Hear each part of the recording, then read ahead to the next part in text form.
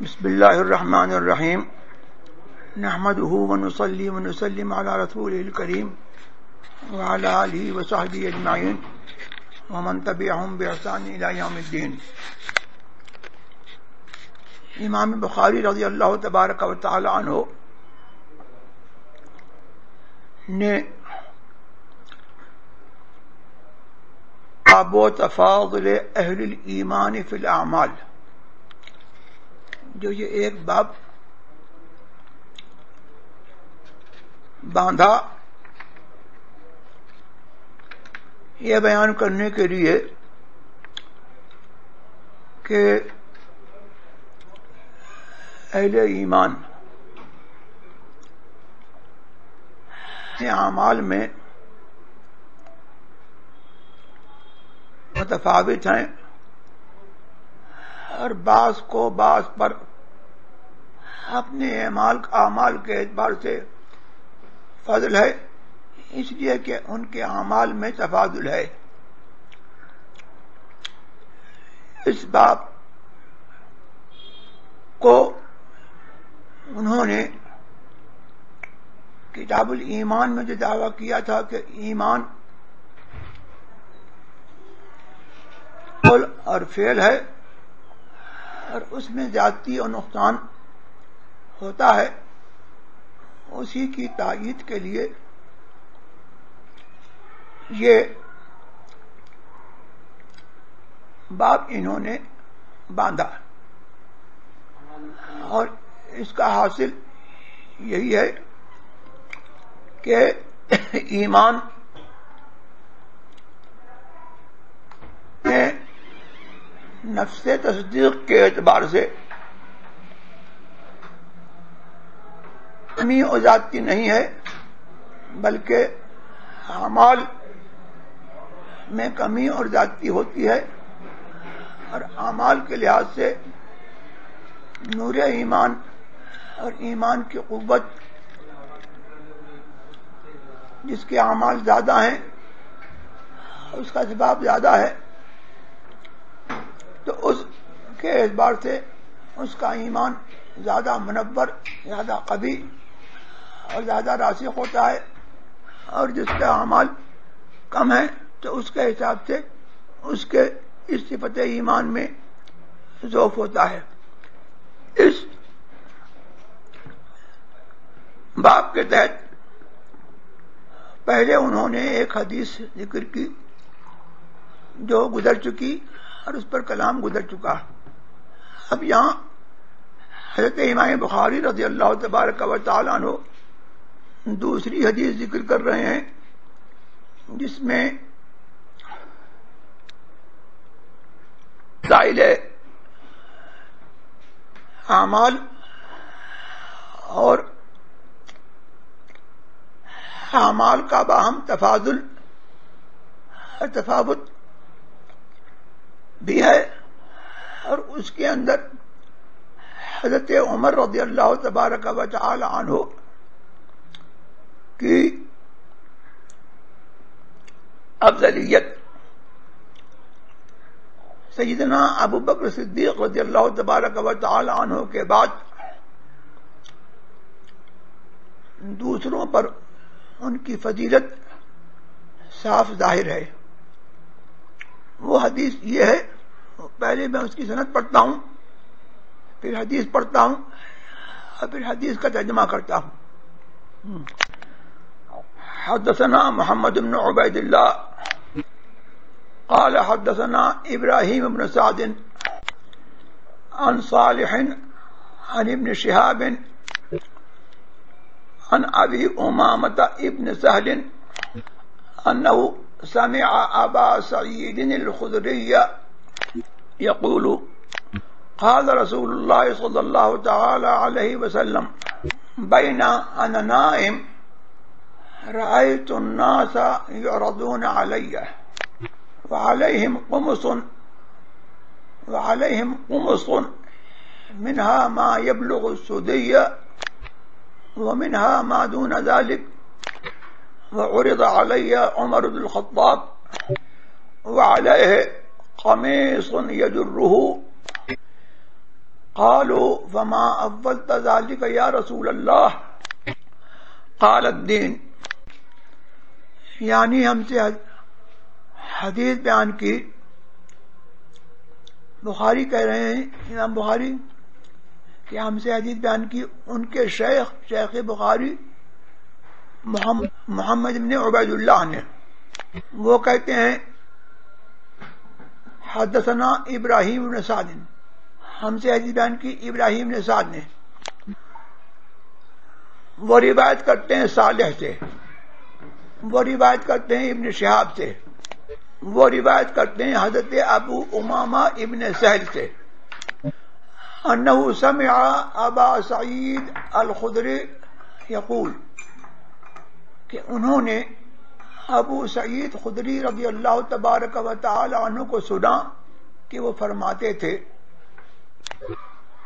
اس دوران کہ میں سوتا تھا میں نے لوگوں کو دیکھا کہ میرے اوپر میری خدمت میں لوگوں کو پیش کیا گیا۔ لوگ پیش کیے جا رہے ہیں اور ان کے جسم پر کرتے ہیں، قمیصیں ہیں۔ ان میں سے کچھ تو سینے تک، چھاتی تک پہنچتی ہیں اور کچھ اس سے کم۔ اور حضرت عمر عرد علیہ عمر۔ ہاں میں حدیث کے الفاظ پورے پڑھ دوں۔ وہ عرد علیہ عمر عبد الخطاب و علیہ قمی سن یجرہ اور میرے اوپر عمر ابن خطاب کو پیش کیا گیا ان کے جسم پر کرتا تھا قمیض تھی، جو سراپا ان کے جسم کو ڈھکے ہوئی تھی اور یہ اس میں سے قمیص کا جو فاضل حصہ تھا، اس کو وہ زمین پر گھسیٹ کر چل رہے ہیں۔ صحابہ نے پوچھا، قالو، عرض کی، فما اولتا ہوں یا رسول اللہ، تو آپ نے اس کی کیا تعبیر دی؟ قال الدین، فرمایا، میں نے اس کی تعبیر دین میں نے اس کی تعبیر دین سے کی۔ یہاں پر جو اس حدیث میں الفاظ آئے ہیں، اس کا مختصر بیان کرنے کے بعد میں اس میں حضرت عمر رضی اللہ تبارک و تعالی عنہ کی جو فضیلت ہے اور اس کے جو اس پر اس حدیث سے جو احکام مستفاد ہوئے، وہ بیان کروں گا۔ حدیث میں فرمایا، بینا انا نائمن بینا اس میں ظرف ہے۔ اور اس کا استعمال دو طرح سے ہوتا ہے۔ یہ جملے کی طرف مضاف ہوتا ہے۔ کبھی بے نما مائے کافا کے ساتھ ہوتا ہے اور کبھی بغیر ماں کافا کے یوں ہی براہ راست بینا کو جملے کی طرف مضاف کر دیتے ہیں۔ یہاں پر اسی لغت پر یہ حدیث وارد ہوئی۔ کہ بغیر ماں کے فرمایا، بینا نائم. اور بینا، یہ بے، یہ نون۔ اصل میں یہ لفظ اتنا ہی ہے۔ اور اس میں الف اشباع فتح کے لیے ہے۔ عرب کی عادت ہے کہ کسی لفظ کو جب کھینچ کر کے بولتے ہیں تو کوئی دوسرا لفظ پیدا ہو جاتا ہے۔ یہاں پر فتح کا، زبر کا جب اشبا کیا تو الف پیدا ہو گیا۔ بینا نائمن اب یہاں یہ جملہ ہے آنا مبتدا اور نائمن اس کی خبر ہے۔ اور رائے تو یہ بینا کا جواب ہے۔ اس لیے کہ یہ اس میں درف ہے۔ یہ عز اور ادا کے قائم مقام ہے۔ اور عز اور ادا جو ہے وہ جب ان کا استعمال ہوتا ہے، تو وہ شرطیہ، جملے شرطیہ کے قائم مقام ہوتے ہیں اور جملے کو شرط کے معنی میں کر دیتے ہیں اور شرط جواب چاہتی ہے۔ لہذا یہاں پر بینا کا جواب کیا ہے؟ رائے تو اس کا جواب ہے۔ اور بینا کا استعمال دو طرح سے ہوتا ہے کہ بینا جملے پر داخل ہوتا ہے، اس کے بعد بینا کے جواب میں یا ادا آتا ہے اور کبھی از اور ادا نہیں آتا اور اسمائی نے کہا کہ یہی فسی ہے فسی ہے۔ اور اسی لغت فسیحہ پر۔ اور عرب میں جو فصیح مانا جاتا ہے، حدیث جو ہے، اسی کے مطابق آئی کہ یہاں پر عز اور ادا نہیں فرمایا۔ بینا ان نائمن ڈائریکٹ فرما دیا رائے تو بغیر عز اور ادا کے۔ چلیے۔ جی۔ تو ڈاسا یو ردون علیہ۔ یو ردون علیہ یہ جملہ محل نظم میں ہے۔ اور یہ جو ہے وہ حال واقع ہے۔ اور اس میں ایک اعراب یہ بھی ہو سکتا ہے کہ رائے تو ممانا عالم تو تو دو مفول کو چاہے گا۔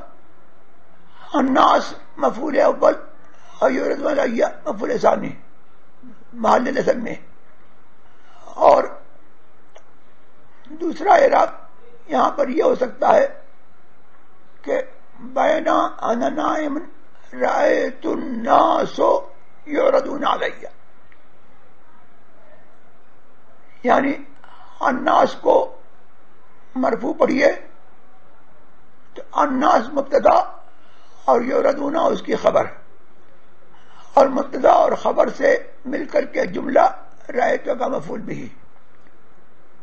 اب یہاں پر بایا وہ علیہم قمسن قمس جمع ہے قمیص کی۔ جیسے کہ یہ بربد فعیل ہے، تو اس کی جمع قمس ہے اور قمسان بھی اس کی جمع آتی ہے۔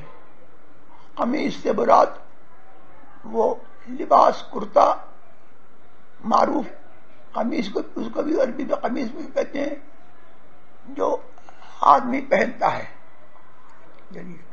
سدیا جمع ہے صدیون کی اور صدیون سینے میں جو ایک خاص ہے، مرد اور عورت دونوں میں ہوتا ہے۔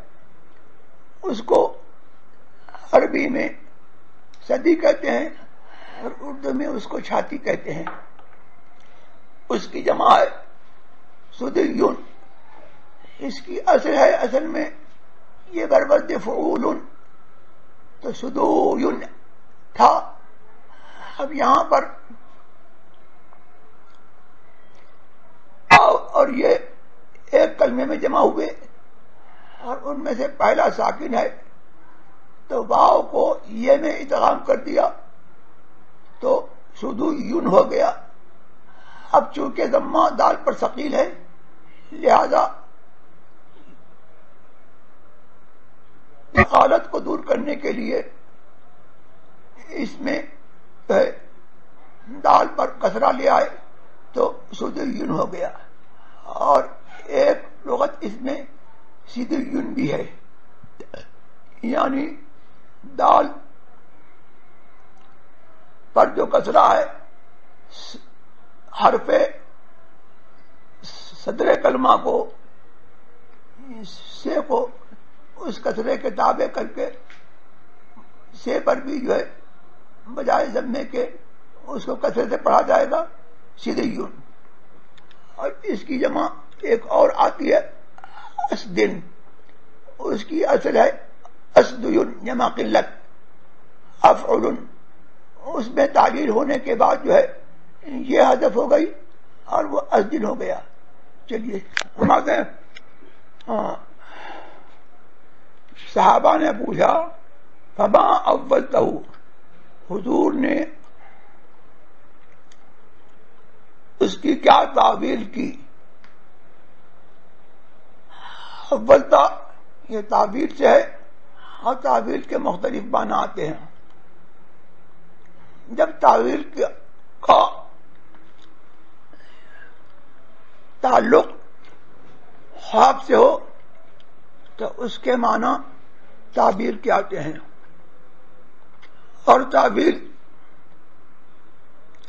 اصطلاح اصولین میں یہ ہے کہ لفظ کے چند معنی ہوں تو ان میں سے خلاف ظاہر ظاہر کے خلاف کسی معنی مرجو کی طرف پھیر دے۔ جائے؟ یہ تعبیر ہے۔ یا کسی ایسے معنی کی طرف پھیریں کہ جو فی نفسی مرجو ہو، لیکن کوئی قرینہ اس کو راجے کر دے، تو یہ اصولین کے نزدیک جو ہے، یہ تعبیر ہے۔ اور تعبیر تفسیر کے مقابلے میں بولا جاتا ہے۔ تو تفسیر وہ ہے جو نبی صلی اللہ تبارک و تعالی علیہ وسلم سے اور صحابہ سے اور صحابہ سے یہ تو تفسیر ہے ہی۔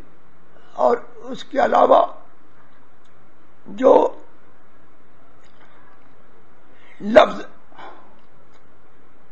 قرآن میں جو کلمہ واقع ہے، اس کی جو ظاہری مراد ہے اور جو اس کا ظاہری معنی ہے، اس کا، اس کو بتانا اور اس کا کھولنا، یہ سب تفسیر ہے۔ ہر تعبیر یہ ہے کہ ظاہری معنی کے علاوہ جو دوسری وجوہ ہیں، ان پر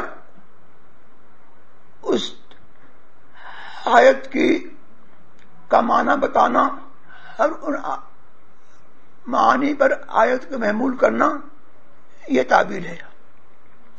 یہ ہے کہ حضور نے فرمایا کہ میں نے اس کی تعبیر دین سمجھی۔ جو حضرت عمر رضی اللہ تبارک و تعالی عنہ کو دیکھا کہ ان کے جسم پر ایک قمیص ہے وہ ہے جس کو گھسیٹے ہوئے چل رہے ہیں۔ گھسیٹتے ہوئے چل رہے ہیں، تو اس کی تعبیر دین سے لی تو اس میں یہاں پر دین کو قمیص سے تشبیح دی گئی اور تعبیر جو ہے، کیوں سمجھی گئی؟ دین اور قمیص میں کون سی وجہ جو ہے، وجہ تشبیح ہے، جو دونوں کے درمیان مشترک ہے۔ تو قمیص کی اصل غرض جو ہے، وہ سطر ہے۔ تو جس طریقے سے آدمی جب قمیص پہنتا ہے، کپڑا پہنتا ہے، تو اس کا بدن ڈھک جاتا ہے اور اس کے آدائے عورت کہ جن کو جن کا کشف اور جن کا کھلنا باعث شرم ہے اور مایوب ہے، وہ سب ڈھک جاتے ہیں۔ اسی طریقے سے دین جو ہے، وہ آدمی کے لیے دو سے اور عذاب الہی سے سطر ہے اور حجاب ہے۔ اس لیے جو ہے، سرکار نے اس قمیض سے دین کو تعبیر فرمایا اور اس کی تعبیر جو ہے وہ دین بتائی یہاں سے حضرت عمر رضی اللہ تبارک و تعالی عنہ کی فضیلت یہ ظاہر ہوئی کہ ان کا ایمان جو ہے وہ حضرت ابو بکر رضی اللہ تبارک و تعالی عنہ کے بعد ساری امت میں ان کا ایمان جو ہے وہ سب سے اقبا اور سب سے زیادہ اور وہ دین میں جو ہے سب سے زیادہ افضل اور قابل تر ہیں اور یہ جو ہے کہ ایسی قمیض پہنے ہوئے ہیں جو ان کے جسم کو ڈھکے ہوئے ہے اور پھر قمیض کا کچھ حصہ جو ہے وہ زمین پر جو ہے پڑا ہوا ہے اور وہ اس کو گھسیٹتے ہوئے چل رہے ہیں۔ تو دنیا میں تو ایسی قمیض اور ایسا اظہار پہننا معیوب ہے۔ اور اگر خیالہ کے لیے ہو، گھمن کے لیے ہو، تکبر کے لیے ہو، تو حرام و ناجائز ہے۔ حضور سربر عالم صلی اللہ تبارک و تعالی نے فرمایا کہ جو ٹخنوں کے نیچے جو تہ بند ہو، اتنا حصہ جو ہے وہ آگ میں ہے۔ حضرت صدیق اکبر رضی اللہ تبارک اور یہ بھی فرمایا کہ یہ جو ہے، جو اس کو گھمن کے لیے جو ہے وہ لٹکائے اس نیت سے، تو اس کا یہ اتنا حصہ جو ہے، وہ آگ میں ہے۔ تو یہ اس پر وہی سنائی حسیز غبر نے فرمایا کہ ان کا تہبت ان کے پیٹ پر رکتا نہیں تھا، تو کچھ حصہ جو ہے، ٹہنوں سے نیچے تھا۔ تو فرمان نے فرمایا کہ انتا لستا ممن یجر خیالا یہ وعید جو ہے، ان کے لیے ہے، جو گھمن کی وجہ سے ایسا کرتے ہیں، تم ان میں سے نہیں ہو۔ تو دنیا میں تو اس کا حکم یہ ہے، اور حضور نے خام میں دیکھا، تو اس کا مطلب کیا ہے؟ اس کا مطلب یہ ہے، جو وہاں سوز ہے، وہ مطلب یہ ہے کہ مرد مومن اور مومنوں کا حضرت ابکر اللہ تبارک و تعالیٰ عنہ کے بعد جو ہے، وہ مرد مومن کے جو انبیاء و مرسلین کے علاق کے بعد ابرین و آخرین میں جو ہے، اس جیسا کوئی مومن نہیں ہے۔ وہ عمر جو ہے، وہ زندگی میں تو اس کا ایمان اور اس کے جو ہے، اس کا فائدہ اور اس کی برکت جو ہے وہ میری امت کو تو ہوگی، لیکن اس کے بعد وفات بھی جو ہے، اس کے منافع اور اس کے فوائد جو ہے، اور اس کا فیض جو ہے، وہ جاری رہے گا۔ اس لیے جو ہے، یہاں پر جو ہے، یہ جو روح فرمایا کہ جو جو ہے، زندگی میں ہے، وہ تو ہے ہی، اور ان کے بعد وفات بھی جو ہے، ان کا فیض اور ان کی برکات جو ہے، وہ جاری ہے۔ یہ بظاہر سمجھ میں آتا ہے کہ حضرت عمر رضی اللہ تبارک و تعالی عنہ،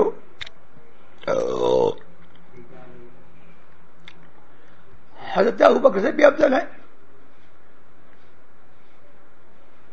اس پر اس حدیث سے اشکال پیدا ہوتا ہے۔ اس کا جواب یہ ہے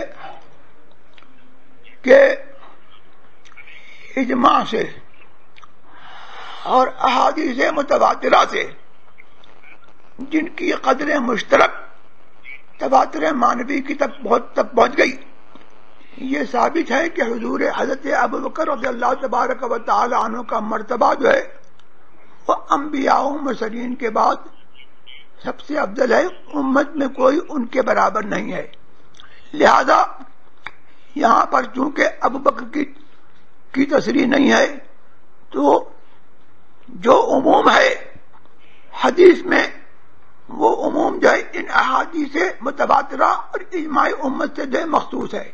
یہ حدیث اپنے عموم پر نہیں ہے۔ حضرت ابو بکر کے سلسلے میں جو ہے، یہ حدیث جو ہے، اس اجماع سے اور جباتوں سے جو ہے مخصوص ہے۔ چلیے۔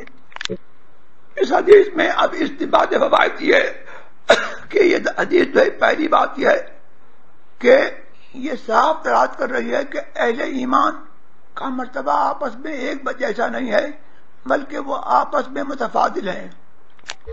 اور حدیث کے الفاظ اور عبارت النس حضرت عمر رضی اللہ تبارک و تعالیٰ کی فضیلت پر درد کر رہی ہے۔ اور یہ بھی ہے کہ آپ کی تعبیر بتانا اور پوچھنا، یہ دونوں جائز ہے۔ لیکن کس کو؟ جو خواب کی تعبیر جانتا ہو۔ اس کو بتانا جائز ہے اور اس سے جو ہے، اپنا خواب ذکر کرے اور اس سے پوچھے۔ اس میں جو ہے، اس بات کا جواز ہے اور بلکہ اس بات کی طرف جو ہے، ترغیب بھی ہے۔ اور اس میں اشارہ اس بات کی طرف ہے کہ جو خواب کی تعبیر نہیں جانتا، بے وقوف ہے، اس سے واقف نہیں ہے، تو اس سے خواب کی خواب نہ بیان کرے، بلکہ خواب جب بیان کرے تو مرد آخر سے اور جو اس کا خواب بھی خواہ ہے، اس کا مخلص ہے، اس سے خواب بیان کرے اور جو اس سے کسی وجہ سے حسد رکھتا ہو یا وہ زبان سے جو ہے کوئی برا کلمہ نکال دے، اس سے اندیشہ یہ ہو، تو ایسے شخص سے جو ہے خواب نہ بیان کرے، بلکہ خواب اسی سے بیان کرے جس کو اپنی زبان پر قابو ہو اور جو اس کو جانتا ہو، جو اس کا بھی خواہ ہو اور اس سے حسد نہ رکھتا ہو۔ اب یہاں پر ایک یہ بھی ہے کہ عالم اپنے شاگردوں میں اور اپنے پیروکاروں میں اس شخص کی تعریف کرے اور اس کی تعریف کو عام کرے۔ جبکہ جس کا فضل عالم جانتا ہے، جبکہ یہ خوف نہ ہو کہ خود پسندی کا یا اس کو پسند کرنے کا یا اس کے اوپر کوئی ضرر کا خوف نہ ہو، تو اس کو تعریف کو عام کرے تاکہ اس کا فضل جو ہے لوگوں کو معلوم ہو اور لوگ جو ہے لوگوں کو رغبت ہو تاکہ اس ایسے فاضل کی طرف لوگ رغبت کریں اور اس کی پیروی کریں۔ ہاں، حال حضرت عظیم البرکت رضی اللہ تبارک و تعالی عنہ نے اپنے خلفاء کی تعریف میں جو قصید منظومہ استمداد لکھا۔ تو یہ حضور سرور عالم صلی اللہ تبارک و تعالی علیہ وسلم کی سنت کی پیروی جو ہے اس کے اندر جھلکتی ہے کہ اس لیے کہ لوگوں کو ان کی حوصلہ افزائی ہو اور وہ دین کے کام میں آگے بڑھیں اور دوسرے لوگوں کو یہ ترغیب ہو کہ ایسے لوگوں سے وہ رابطہ رکھیں اور ان کی پیروی کریں۔ حضور سرکار حامد قرار نے بھی اسی لیے حضرت عمر کی، حضرت بکر کی اور اپنے اصحاب میں جس کی تعریف کی، وہ اسی لیے کی کہ ان کی حوصلہ افزائی بھی ہو اور یہ ہے کہ دوسرے لوگوں کو ان کی طرف رغبت ہو اور وہ ان سے رابطہ رکھے اور ان سے، ان کے پیروکار بنے۔ صنعت میں کئی رجال واقع ہوئے۔ ان کا بیان۔ یہ چھ ہیں۔ پہلے ہیں محمد ابن عبد عبید اللہ محمد ابن عبید اللہ ابن محمد ابن زید۔ ابن ابی زید۔ یہ قرشی ہیں امبی ہیں۔ اور حضرت عثمان ابن عفان رضی اللہ تبارک و تعالی عنہ کے مولا ہیں۔ بنیاد ابو ثابت، اور یہ مدنی ہیں۔ اور کبار تابعین میں سے سے انہوں نے ایک گروہ سے حدیث سنی۔ اور ان سے بخاری نے حدیث سنی۔ اور نسائی نے بھی ان سے، نسائی بھی ان سے روایت کرتے ہیں، لیکن نسائی اور ان کے درمیان ایک شخص کا واسطہ ہے۔ تو وہ یوں ہے ان نسیو رجل ان محمد ابن عبید اللہ اور بخاری اور نسائی کے علاوہ دوسرے عالم کبار نے ان سے حدیث سنی۔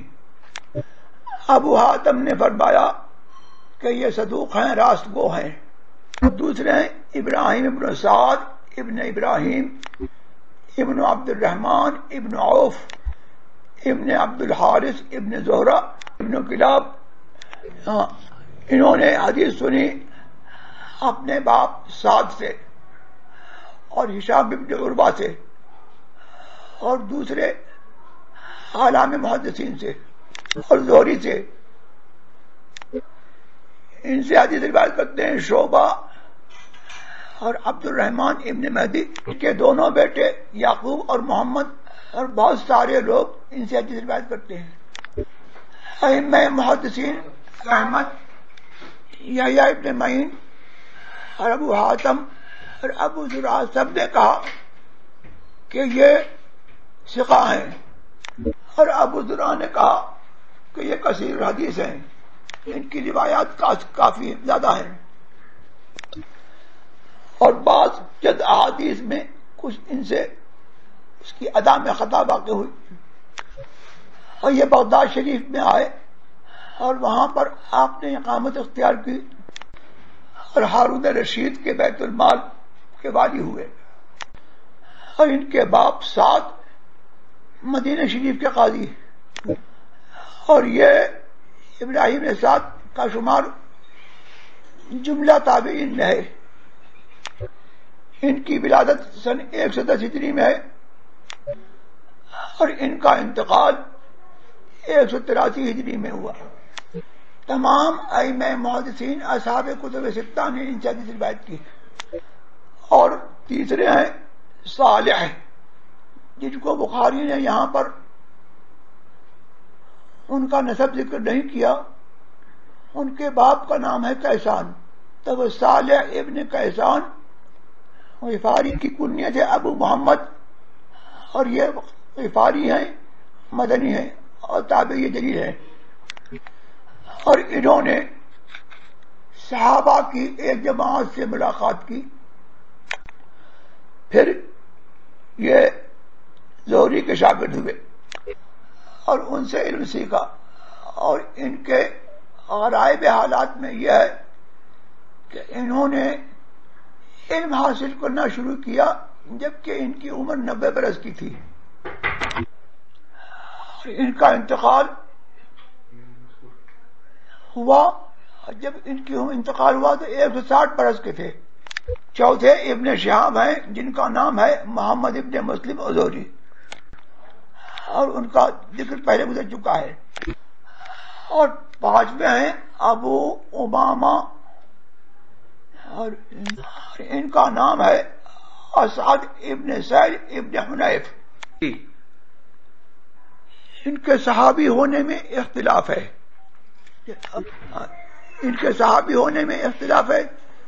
بعض لوگوں نے ان کو صحابہ میں ذکر کیا ہے اور بعض لوگ ان کو تابعی مانتے ہیں۔ اور ان کا سما یعنی سما حدیث حضور علیہ السلام سے ثابت نہیں۔ اور صحابہ میں ان کا ذکر جو ہے کیا جاتا ہے شرف روایت کی وجہ سے علوب سرت کے لیے۔ ابو سعید خدری، جن کا نام ساج بن مالک ہے، ان کا ذکر بھی دو چکا پہلے۔ کہ یہ پوری صنعت سب کے سب مدنی ہیں۔ اور اس سے پہلے جو حدیث گزری، اس میں بھی سب کے سب مدنی ہیں۔ اور یہ رائے میں اسناد میں سے ہے کہ دو دو حادثیں جو ہیں، ایک ہی ایسی صنعت سے ہوں کہ جن میں سب حضرات جو ہے ایک ہی جگہ کے رہنے والے ہوں۔ اور اس میں علائے یہ بھی ہے کہ اس میں تحدیث ہے اور انانا ہے اور اس کے بعد جو ہے سما کی تصریح کی ہے۔ راوی نے یہ کہا کہ سمے تو کیا کہا محمد بن عبد اللہ حدثنا۔ دو جگہ حدثنا ہے۔ اس کے بعد انصال غنیم شہابن ہے ان ابی اماما تو تین جگہ ان انا ہے۔ اور ابو اماما کہتے ہیں سمع تو یہ میں نے ابو سعید خدری کو سنا تو اماما نے جو ہے تصریح کی ہے سما کی۔ اور اس میں ایک یہ ہے کہ